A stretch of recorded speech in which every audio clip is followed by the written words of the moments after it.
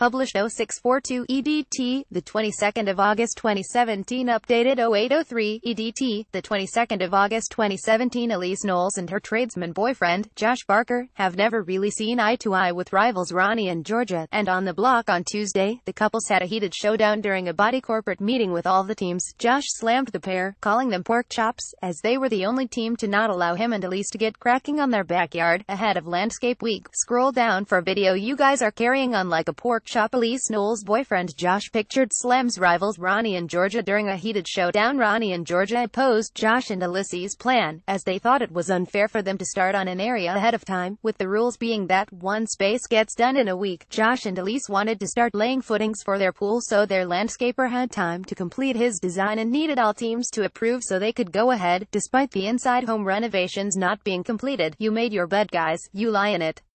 You guys are carrying on like a pork chop from week one day. Josh said at one point, Clash Josh slammed Ronnie and Georgia pictured as they were the only team to not allow him and Elyse to get cracking on their backyard. Ahead of Landscape Week trouble on site the rivals had the heated showdown during a body corporate meeting with all the teams pictured Ronnie and Georgia objected, because they claimed it WASNT fair. I knew we only had one week to do the landscaping.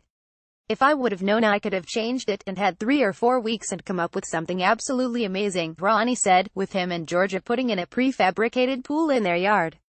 During the clash, Ronnie and Georgia said that they designed their landscaping before they landed in Melbourne to start the show, with Georgia saying she saw ideas on Instagram. Sticks fired up, saying they were trying to get ahead themselves. Speaking up, Sticks pictured fired up, saying Ronnie and Georgia were trying to get ahead themselves. You already knew the plans before you got here. That's not fair to everyone else. How's that different? Using plans and planning your own house before you get here and you're putting the brakes on them.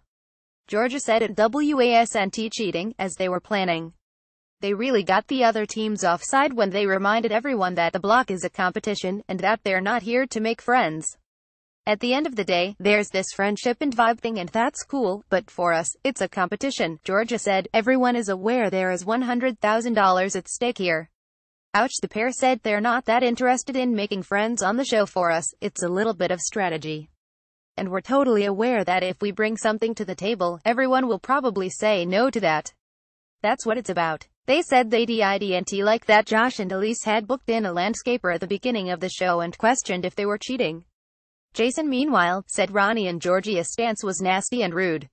Ronnie also said that he doesn't want to give Josh and Elyse his approval, as he's concerned they will steal their buyer come auction day and want to win. At the end of the clash, Elyse and Josh were told they can't start work on their backyard but took comfort in the fact that Ronnie and Georgia are renovating the middle block getting everyone offside Jason meanwhile, said Ronnie and Georgia's stance was nasty and rude it means they won't get access through the other team's backyard if they want to put a pool in or any other objects, they're stuck in the middle and screwed, Wombat said.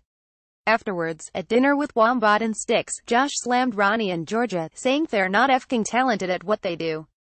At the end of the day, auctions don't lie.